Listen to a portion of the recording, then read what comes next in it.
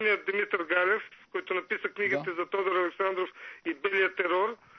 А, идва при мен често и стана... А, а, поговорихме си за, за акцията, който проведахме на Струмишките гробища, защото е той по-възрастен човек в по-отминала старост. А, не можеше да дойде този ден с нас, но ми разказа за е, гробът на свещеникът, който се намира в е, е, черквата в е, село Робово. А, така да се договорихме, отидахме на лице место. Това, което видахме, това е нещо, което не личи на на Вандалщина, интелигентни да. хора да го работят. Заличено е надписът, където пише за българщината и това, това е направено не пред много време, преди настъпването на плурализма в Македония. Значи в ново време. Не е Да, това за да. време сръбско. Некой да го е направил, направено е сега. Да.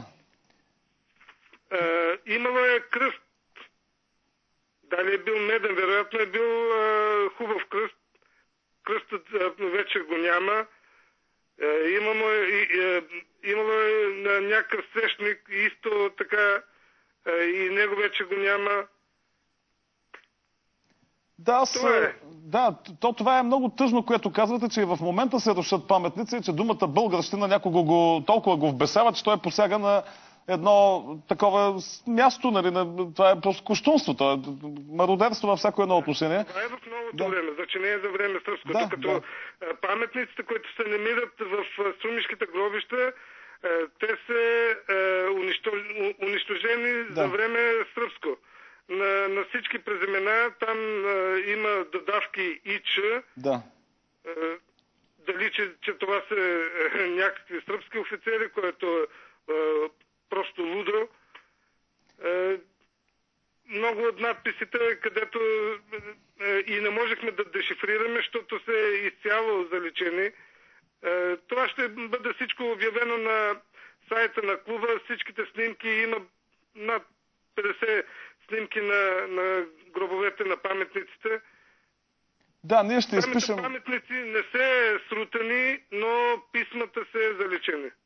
Да, наистина това е нещо, което може да се види на сайта на Българския културен клуб Скопия. Той се посещава от много хора от Македония, но от много хора и от България. И също е една от тези територии, където тече дебата за истината и се налага истината, за което аз много благодаря на клуба и на всички, и на вас лично, господин Младенов, и на братята Резински, както ги наричам аз като братята Миладинови. Изобщо не мисля, че преувеличавам, че се шегувам, тъй като Мирослав Резински и до сега е в затвора, доколкото аз Да, да, да. Знам е и Той Мариан е много сърцато момче и за, и за Асен, и за Деян, и за всички симпатизанти на клуба мога да кажа само много хубави неща. Може би Костадин иска да добави нещо.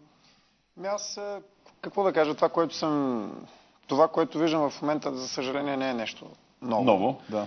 Виждал съм го и на други места. Виждал съм го в Гърция, виждал съм го в а, Сърбия. Лошото е обаче, че продължава да се случват тези неща и до ден днешен. Айде да кажем, че е имало някакво а, основание в един определен момент, че е имало някакво настървение, че е имало някакво желание за мъст, за отмъщаване към нас, И българите и така нататък. Той го каза най-добре, господин Младенов, да, сърбите. да го кажем, да, да се опитаме да намерим някакво оправдание за, за тези вандали. Но истината е е, че това, което виждаме в момента, няма оправдание. Не може да посягаш на гроб, в крайна сметка. Никой не воюва с мъртви хора. Това е, Да, това е толкова кощунствено. кощунствено, че просто трудно е да се намерят думи. Господин Младенов, ще ви помоля още нещо да кажете на нашите зрители. Какво ново прави клуба? Оп, а, само да, да додадам още нещо. Да. Оправдание за, а, за а, хората, които са унищожили а, а, паметника на свещеника, абсолютно няма, защото това са наши хора Да. и това е направено в днешно време. Не Да, е да. това за време сръбско. Друго е това, което са работили, което са правили сърбите на паметниците за време сръбско, нели? Но а, в наше време да, да се а, текстът на, на паметника, това е ужасно. А, какво прави клубът в момента? Не, Това, което можем и, е, и колко ни позволяват средствата, ние правиме. Казахме, имаме намерение да направим няколко брошури Да. с помощ на наши хора от България, от Македония, но за, това, се, за всичко това си трябва време, трябват средства. То трябва да бъде направено и ние ще бъдем много благодарни да се появят такива брошури. Може би някакъв бюлетин на клуба е хубаво да има, тъй като а, Българския културен клуб е една организация, която доказва просто своята добронамереност, своята обективност и своята наистина дълбока българска природа, исторически мотивирана. Благодаря ви специално за... Стараеме, стараеме се колкото можем да дадем прилог Благодаря ви. Благодаря ви и поздрави на всички наши сънародници в е, братска Македония. Всичко хубаво. Сега, господин Ардите, виждате, че ние вече се говорим спокойно с хората от Македония, че там има хора, които се чувстват, не само се чувстват, които могат да кажат смело, ние сме българи, имаме културни инициативи. Това беше една такава организация. Колкото знам, има българска партия в Скопие. Българска партия точно няма. Или и не, бива, и- пробългарска. не бива и да има, тъй като там всички партии, с изключение на албанските, са в крайна сметка са български. Какви други да бъдат? Не, пробългарска. Про-българска. Надяваме се, че всички ще станат про-български. Нека да включим и нашите зрители. Аз се извинявам, че малко така, поради разговорите, поради това ги, е, не сме ги забравили, но ще ги включим малко по-късно. Още нещичко да кажем около тъканта на тази културна политика, която водите в момента и която и ние се опитваме в СКАТ да водим, и не само ние. Това, което спомена Лазар Младенов, един от най-достойните българи в момента в Македония председател на Българския културен клуб в Скопие, за тази тяхна идея да издават а, брошурки, да издават бюлетини е изключително похвално, защото това е начина в крайна А сметка. на какъв език трябва да бъдат издавани? То е ясно, че е български, но на коя норма на българския според Няма вас? лошо да бъде издавана Да, и на македонската да. книжовна Да, норма, да. няма лошо да бъде издавана брошурката и на съвременната българска книжовна или, ако можем да ги наричаме за по така удобно, източно-българска и западно-българска В някои от е, участниците на форума на Българския културен клуб с е, скопска и софийска норма. Да, може и скопска и софийска норма. Български язик, в крайна сметка, има една призната официално и от БАН, и от Института по български язик, а, норма, която е различна от книжовната и това е нормата Тя на не е българите точно софийска, е ново източно-българска, търновска до голяма степен, но да. Така че това е, това е начинът, там трябва да се води разговор, но истината е, че само с подобен тип действия и с подобен тип поведение няма Разбира да се. случат нещата. Нека да чуем само един зрител. Слушаме ви, моля ви за кратки въпроси. Да, заповядайте. Добър вечер, господин Да, Павлов. добър вечер. се господин Станимир Гермачев от Ивайловград. Да, много се радвам да ви чуя. Имам въпрос към вашия гост от Израел.